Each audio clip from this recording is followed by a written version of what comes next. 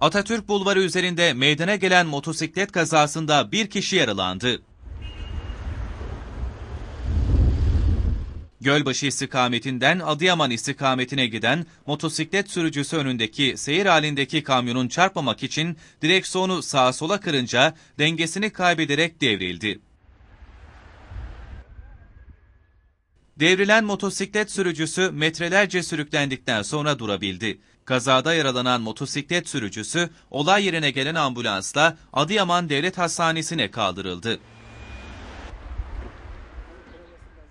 Olay yerine gelen polis ekipleri olay yerinde yaptıkları incelemenin ardından yol tekrar trafiğe açıldı. Kazada yaralanan sürücünün sağlık durumunun iyi olduğu öğrenildi.